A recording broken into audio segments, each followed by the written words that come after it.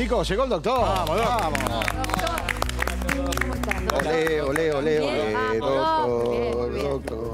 ¿Te gusta esa, Dani? ¿Así de cancha? Es como una cancha. Claro. Como una cancha. Bueno, sí, es una arenga. con- contrariamente a todo lo que estamos diciendo desde muy temprano, doctor, con el tema de la humedad, que usted este, llegó muy, muy entusiasmado. Muy energético. Sí, muy, sí. muy energético. Muy ¿Hay bien. algo en la atmósfera? No, no, me preparo mentalmente. Ah, mira qué bien. Bueno, No, otro día Es lo que hablábamos de de la psico, La. La mente domina Sí. el cuerpo. Dani, ¿por qué nos enfermamos con los cambios de clima?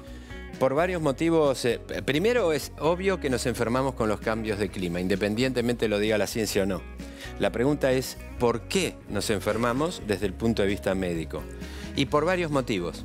Para empezar, en el invierno circulan más agentes infecciosos, circulan más virus y bacterias. Y ahora me tendrías que preguntar, ¿por qué? ¿Por ¿Por qué? qué? Muy ¿Por bien, qué? esa, ¿Por esa qué? era la ¿Por qué? pregunta, muy bien. ¿Por qué, Doc? Muy Qué bien. grandes Somos, alumnos. somos bravos para la repregunta, ¿eh? Somos bravos. Agudos, Tened cuidado. Agudos, agudos. Y lo importante en la vida no son las respuestas, sino las preguntas. Y la pregunta es ¿por qué? Porque el frío, sumado al aire seco, Ajá. hace que los virus y las bacterias se mantengan muy cómodas y proliferen más. Más sobre el seco que sobre el húmedo, mira. Mirad, toma mate. En el húmedo quedan pegados en lugares. Mira. O quedan pegados. Ahora, ¿qué pasa? Hace frío, cerramos las puertas. Sí. Se Claro. concentran. Respiramos lo mismo. Vos venís infectado y liberás gérmenes al ambiente. Esto ya es un motivo de contacto directo. Pará porque hay un datazo que acabas de tirar lo del seco, que a mí me sorprende, pero se viene un invierno frío y seco. Frío y seco. Así que es Frío y seco. propenso para que nos enfermemos. Sí, y el cambio de temperatura, eso es con los bichos. Pero el cambio de temperatura también te condiciona a vos, Erika. Cuando vos tenés frío y sobre todo seco, se te secan las mucosas, la nariz.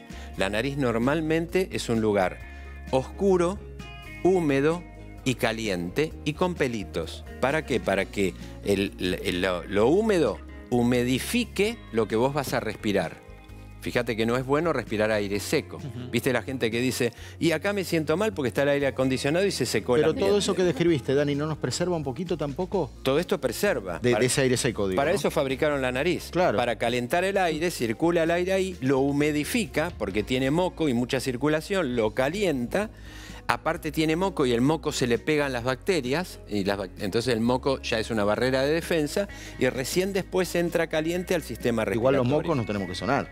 El- ¿Los qué? Hay que sonarse los mocos igual. Si es necesario, sí. Ah. Pero siempre va a quedar una capa mucosa que te protege. ¿Qué es lo más común que nos agarra con, con- con esto que estamos diciendo que nos enfermamos con el cambio de clima? ¿Cuáles son esas enfermedades, si es que son así, que, que son más comunes? El, el sistema respiratorio pierde defensas. Una es que, en- así como tenemos pelitos en la nariz, en todo el sistema respiratorio hay pelitos chiquititos, chiquititos, chiquititos que se llaman cilias. Las cilias son escobas que barren el moco y los bichos para afuera. Resulta que con el frío se mueven más despacio. Por el frío Barren mismo. menos. Los barrenderos de nuestros pulmones barren menos en condición de frío. Entonces, afuera hay más virus, hay más bacterias. El ambiente está cerrado, viene gente infectada. Está seco y frío, se me secan los bronquios, se me secan las mucosas de la nariz, no funcionan bien los pelitos, todo eso condiciona enfermedad. Por el otro lado, si ya tengo una enfermedad de base, insuficiencia renal crónica, artritis tratada con, esteroides, eh, insuficiencia cardíaca, obesidad, estoy en condición inmunológica peor, me enfermo más. Y el frío mismo inhibe la función de células que funcionan para defender el organismo. Unos se llaman los linfocitos T, que son unos luchadores que tenemos en la sangre que funcionan peor en frío. Otros los macrófagos, que son como esos Pac-Man que se comen eh, virus y bacterias, que también funcionan menos. Esas son las situaciones por las cuales en el invierno, si sumamos todo eso, hay más enfermedades Dani. infectocontagiosas respiratorias. ¿Y qué hacemos? O sea, ¿nos abrigamos, no nos abrigamos? ¿Hay Bueno. un punto de abrigo? No, eh, ¿Qué hacemos? Nos tenemos Comemos bien, ¿no? Eh, claro, o sea, el- ¿qué hacemos? Es un sinnúmero de cosas. Lo primero que eh, eh, no debemos hacer, lo primero que no debemos hacer es nada. Es decir, algo tenés que hacer. Lo primero que no debemos hacer es nada. No es que está cambiando el clima y vos haces lo mismo de siempre. No, si está cambiando el clima tenés que, Adri, empezar a hacer algo. Algo. Algunas cosas. La primera es de dominio público, pero si hace frío, ¿qué haces? ¿Te ¿Te abrigas? abrigas? ¿Pero cuánto te abrigas? Mira qué importante. Claro, pero después salís a la mañana, hace frío y después a la tarde, perdón, sí, y a la tarde ah, empieza a hacer calor. ¿Qué haces con toda la ropa? En definitiva es como que entras en, en un loop en donde quedás vestido distinto de cómo después eh, sale el clima. A ver, tenés razón. Empecemos por el principio. ¿Cómo te abrigás? Vo- Vos prendés la tele y aparece Dani Rossi. Rollano y da el clima. Decí el clima que hoy no es, no es tanto. Decí la semana que viene. La semana que viene, mínimas de 5 grados. Bueno, imagínatelo. Bufanda. Lunes que viene, Claro. prenden la tele, Telefe, Dani, 5 grados. ¿Qué haces? ¿Te abrigás? Bajo el abrigo que tengo allá arriba, el más grueso, y le pongo a los chicos. Los mando así, Exactamente. Como buena mamá, lo primero que hace es proteger a los nenes. Está muy bien. Eso es toda una parte. Pero te tenés todo. que abrigar. ¿Cómo te abrigás? Bueno, mascarilla. Sí, hasta que estás cómodo. El abrigo, primero abrigarte, pero el abrigo es por capas. Son tres capas de abrigo. Capas de cebolla. Capas de cebolla. Este es el abrigarse correctamente. Ni hablar si vas a la Antártida, pero abrigarse correctamente. La primera capa es como una segunda piel, que tiene que ser algo parecido a una camiseta o algo que absorba la transpiración. Esa es la primera capa. térmicas, Desde. Eh. desde un calzoncillo, lo que fuera, que, que no sea de nylon, sino que sea algo que absorba la transpiración. Porque si la transpiración te queda en la piel, se enfría y te da más Claro. frío. Entonces, esa es la primera capa de la cebolla. La segunda es un aislamiento térmico. Pullover, suéter. Pero vas a salir a la calle. Hasta ahí tu calor, hasta ahí controlás la humedad del cuerpo y la temperatura. Pero ojo, cuando salís a la calle, que hay viento o agua. Entonces ahí tenés que tener camperita o algo que no pase el viento o que no pase el agua. ¿sabes Son tres que tenés capas. 5 ¿eh? de mínima y 20 de máxima el La mismo día. amplitud, claro. Bueno, pasar. ahí te vas sacando las capas Ah, de la Pero cebolla. son días específicos también. Eh, Ahí te está. viene Y, pasando y Sí. ¿cuánto hay de, de verdad cuando hace frío que te dicen, bueno, pero hay que ventilar los lugares para evitar... eh, Ninguna duda, si decimos que acá hay, hay bichos en el aire, por frío que haga, con cinco minutos que en una casa abras la ventana allá, así, y otra ventana allá, porque tienen que ser dos agujeros en la casa. Acorrentada. Para que, para que forme corriente, es una sola, no pasa una goma. Claro. Tenés que abrir allá y acá para que circule. Entonces, eso genera un barrido. Vos en los lugares donde se trabaja muy bien en este tema, hay eh, hasta cortinas de aire que cortan espacios. Vos abrís un poquito, aunque qué frío que hace, qué frío que hace, no abras la ventana. No, sí. Una o dos veces por día abrí aquella ventana y aquella puerta que da al pasillo. Que en el bondi abren la ventana y te miran con una cara, pero bueno. Pero ¿cuánto Tres tiempo? minutos, cinco minutos. Con cinco minutos Tres minutos, cinco eso. minutos. No terminé con abrigarse. Extremidades. Los pies. Se te enfrían los pies, porque en las extremidades es donde perdés. Viste que cuando tenés frío. Ah, se enfrían ¿Por qué tenés frío en los pies? Sí. Porque hay poca circulación Medias y mucha térmicas, piel, medias mucha térmicas. piel en, con- en contacto con el aire. Y lo peor que puede pasarte es que se te enfríen, humedezcan los pies. Con lo cual, medias gruesas y zapatos con suela de goma o zapatillas. Claro. Y después, una cosa que genera mucho resfrío, Sí. que es la cabeza. La cabeza es donde perdemos más temperatura. ¿Por qué? Porque las, las, eh, arterias y venas están por encima del hueso pero están muy cerca de la piel. Con lo cual nuestra cabeza, si vos lo ves en un dibujo, película térmica, irradia temperatura. Entonces tenés que cubrir la cabeza, sobre todo las personas, las personas que no eh, rama, Que no- no ramita, tienen ¿qué hace protección, rama? digamos. La- claro, las No tienen personas ¿Ves los protección. bebés?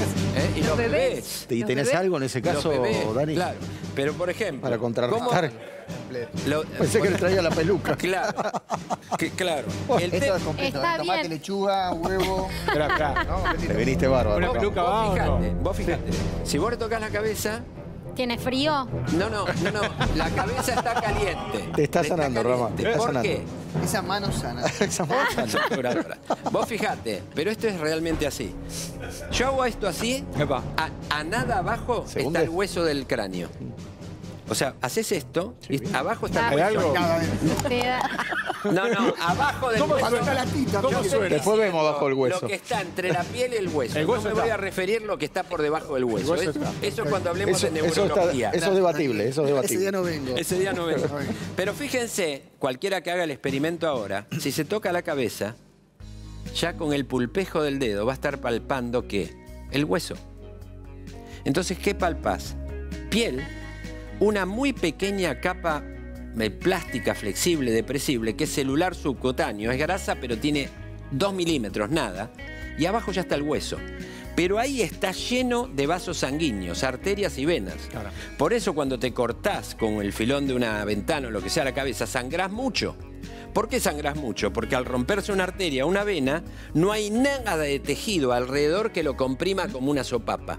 Entonces, tras- ah, eso mismo pasa porque si vos le sacases una radia- radiografía a una cabeza normal, está lle- esto es igual que... Esa no es una cabeza normal. normal. Una cabeza Esa no sería una cabeza normal. No, sí, te están gastando. No, ¿eh? Yo no dije que no son normales. No, Yo ya desde el momento que vos te paraste ya Y sabía ya que lo daba Hoy te tocaba, Rama. Hoy te Hoy tocaba. viene tu día, Bueno, pero pará, entonces Rama- está más El desprotegido. gorro, ¿qué tipo de gorro Claro.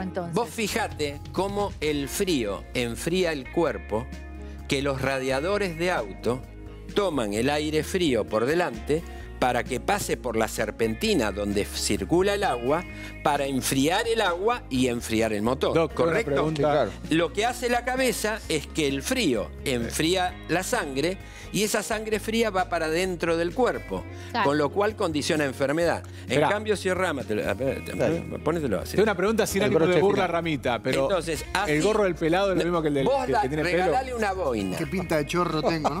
Regalale una boina a alguien de más de 60, 65 años en invierno, no se la saca más, porque es calentita. esto aplica para todos, para Es- quienes tienen pelo y no tienen pelo. Exacto. Para la- eh, Pero básicamente para, para los que no tienen pelo es peor. Porque Es yo, peor, Yo claro. siento, yo el frío lo siento mucho. Cuando hace días de frío, si Pero- me pongo un gorrito. Es que esto, si Que vos pongan haces un un, violincito estudio porque Rama- térmico, Rama está sufriendo. ¿Viste las películas cuando se ve las irradiaciones térmicas? Sí, claro. La cabeza de él es roja perdiendo temperatura. Es muy importante. Por eso los que son escaladores tienen que tener muchos pasamontañas. Eh, doctor, y, y en el adentro de casa, ¿qué es lo mejor a nivel biológico sufrir, para calefaccionarse? ¿Que ¿El aire acondicionado frío-calor? ¿Una estufa a gas? ¿Qué es? ¿Qué es lo mejor? ¿El caloventor? Bueno, depende de la casa de cada uno. Hoy el gas está caro y pasan Claro. una serie de cosas. Dependiendo la casa, el volumen y los ambientes, tienen que primero utilizar los ambientes que van a usar regularmente y el que no, no calefaccionarlo. Eso sería un, un criterio lógico de ahorro de energía. Después el sistema de calefacción que ya de antemano tenga cada uno. El tema es mantener una temperatura constante que no sea muy alta. No necesariamente. Eso. Yo creo En algún momento tenés que salir. Yo- No, porque quedás. Yo ve- creo- veo, veo gente que efectivamente entra a su casa muy abrigada y de repente se queda en remera adentro, o casi. y, quiere ¿no? caminar y quiere caminar descalzo por el piso. El negocio no es ese. El negocio es que en invierno también tenés que estar dentro de casa más abrigado. Ah, También tenés que tener camisa de manga larga, también tenés que estar más abrigado. Ahora, Dani, ¿cómo optimizás? Porque si vos haces un escaneo como térmico del cuerpo, hay lugares que están más calientes que otros, naturalmente, sí. ¿no? Por la actividad interna del cuerpo. Sí, no, y la cabeza misma, la porque cabeza. es un, ra- un ¿Cómo puedes optimizar eso naturalmente? Eh, ¿Lo- ah, ¿Se puede distribuir? La- la- no, Ese no. calor. Vos no lo podés distribuir básicamente. Sí cuando vas a hacer deporte. Ajá. Cuando vas a hacer deporte, primero tenés que estar abrigado, pero para optimizar ese equilibrio entre temperatura interna y externa del cuerpo, tenés que hacer un, buen, un muy buen precalentamiento más que nunca. Porque el cuerpo es igual a un termo. El centro del cuerpo está más caliente que la periferia del cuerpo. Es igual que un termo. Si vos vas a hacer actividad física, debes equilibrar las temperaturas de la parte exterior del cuerpo, la piel celular subcutánea y músculo, del centro del cuerpo, donde están todos los órganos corporales, pulmones, corazón, estómago, intestino, páncreas, hígado, ciego, colon, que está muy caliente. ¿Por qué? Porque son lugares que están lejos del exterior, pero aparte están muy irrigados con sangre. Entonces vos tenés que hacer un buen precalentamiento para que el- la sangre circule de afuera hacia adentro en forma eh, bidireccional, equilibrar las temperaturas y recién ahí salís a hacer Y actividad el física. contraste térmico, ahí vamos con una preguntita, porque viste que Nacho muestra un montón de gente corriendo todas las mañanas. Sí. Hay un montón de gente haciendo actividad física. Digo, eh, ¿Cómo equilibrar esa temperatura también? Terminás recontra sofocado, pero en un clima frío. Bueno, precalentamiento, empezás a hacer actividad física y después te abrigás. Es necesario abrigarse. De todos modos, me das la oportunidad de señalar algo. Esas personas están sanas, Mm. por eso salen a hacer eso. Deben cuidarse, pero son personas sanas. Y eso, incluso si se cuidan, les hace bien. Por dos motivos. La actividad física mejora el sistema inmunológico. Y el sol, con 5 o 10 minutos, eleva la vitamina D que entre otras cosas, no solamente para los huesos, tiene función eh, inmunológica, con lo cual eso es sano también en invierno, excepto que sea un día Claro. extremo. Eso me da la oportunidad de decir otra cosa más. En estos cambios de temperatura no estamos todos en igual condición. Ellos que están sanos pueden hacer eso.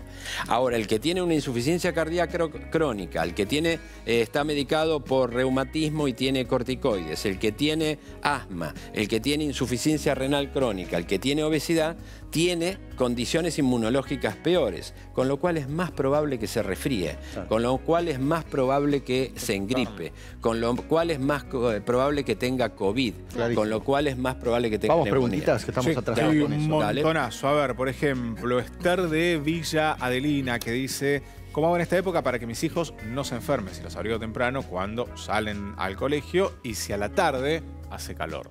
Lo que, lo que dijo ella. Eh. Es, es por capas y después se tiene que desa- eh, No se va, no se va a, a enfermar por cambio térmico a la tarde, porque ya hace calor. El tema es que el cambio térmico de golpe es una condición de estrés. Y al organismo no le gusta, no tiene buena capacidad de defensa y a los bichos les encanta. Entonces, lo que tenés que evitar es el cambio térmico. Yo te diría, por ejemplo, vas a salir de tu casa y estabas en un lugar muy caliente y salir a un lugar muy frío, eso es cambio térmico, el aire te va a entrar frío.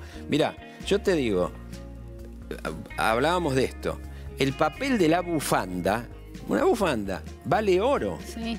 La corbata es antigripal. Este botón es antigripal. Vos salís temprano, este botón No estás cubierto, es lo tenés antigripal. ¿Me explico? Eh, Claro. Esto es antigripal.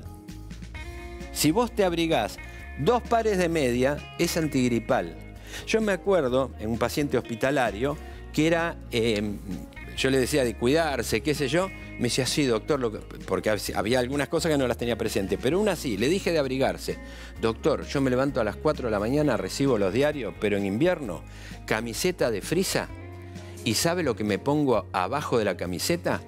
Vos te vas a reír. Diarios. Ah, como lo de la moto. Como lo que sí, moto. como- sí, y como hacían, me dijo, como, como lo hacíamos con los Chevrolet y los Ford en la ruta, que tenías que ponerle diario para que no se No enfríe el radiador y que pueda llegar a Mar del Plata. ¿Y qué me agregó al final? Pero eso, doctor, que quede entre nosotros, nunca me resfríe. Y mire que me levanto a las 4 de la mañana. ¿Qué hacía? Evitaba el cambio térmico. Claro, claro. Acá Pato dice, soy alérgico muy sensible a los cambios de temperatura. ¿Puede ser que me pase eso? Eh, soy alérgico. Alérgico y que entiende que su alergia lo, lo- lo La vuelve muy alergia sensible no a es los al cambios cambio de temperatura. El cambio de temperatura lo condiciona en una situación de minusvalía inmunológica frente a su alérgeno habitual.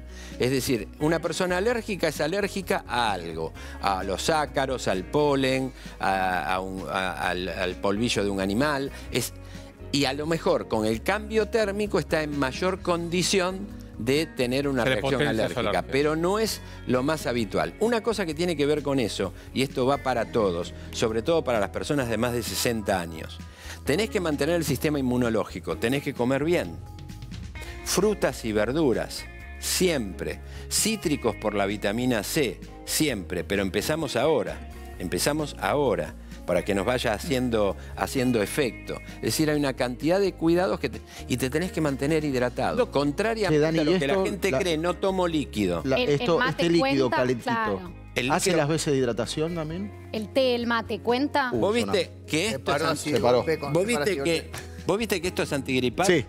Bueno, la sopa cabello de ángel que me daba mi mamá es antigripal. Hermosura. Hermoso. Ah, ¿Por qué? esa, esa. Ahora la tomo. Si dijimos que el ahora. cuerpo, si sopa, dijimos pero que no. el cuerpo es un eh, térmicamente hablando, el cuerpo es como un eh, termo, El centro del cuerpo está más caliente, sí. Vos tomás sopa caliente, café con leche caliente, ese café con leche va al sistema digestivo y a las tripas, pero va caliente. Tu temperatura corporal es 37 y el agua que tomaste es 44. Eh, Va agua caliente y dentro de las tripas, ese agua caliente, alrededor a qué hay? Arterias y venas cuya sangre se calienta y empieza a calentar todo el cuerpo. Eso es bueno. Por eso vos tomás algo caliente y al rato sentís calor. Doctor, y- ¿Por qué tomás algo caliente y tenés calor acá? Porque el calor de la panza pasó a la sangre y de la sangre pasó a la piel. ¿Vale tomar vitamina C?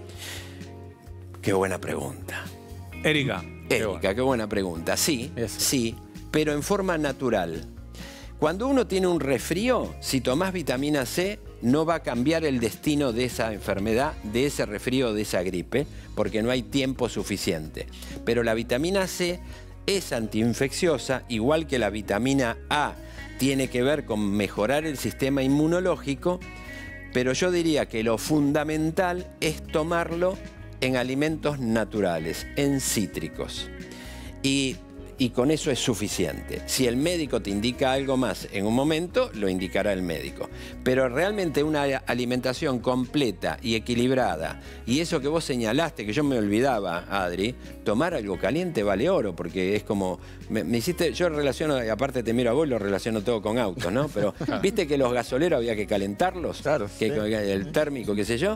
Si vos vas a salir de casa y, y te tomás un café con leche caliente, estás abrigado por dentro. Tirabas el agua caliente para la escarcha. ¿Te incluso. acordás para la calle que se caía Bueno, el uruguayo dice que se toma whisky antes. Era- Sí, claro. Eso Eso, eso Ah, verdad, hay mucha gente pone... Podemos contestar lo del whisky. El whisky te va a hacer más fácil que te resfríes. ¿Por qué? Mira, Ah, toma mate. Ah, ah, eso. ¿Por qué? toma mate. ¿Cómo está la cara de alguien que toma alcohol? ¿Pálida o roja? Roja. No, colorada. Si está colorada es porque hay más sangre bajo la piel. ¿Por qué? Porque el alcohol produce vasodilatación. Si tenés más sangre caliente abajo de la piel, perdés más temperatura. Con lo cual, si vos te tomás alcohol, perdés temperatura.